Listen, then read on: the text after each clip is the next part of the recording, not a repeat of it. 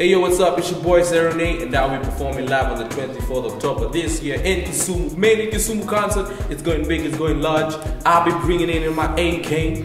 I'll be bringing in the sugar, cause they call me sugar. They call me daddy. They them love me, love me, love me. All my sweet potato girls, I wanna see you live on the 24th October at Jomo Kenyatta Sports Ground. It's going down. Seroney!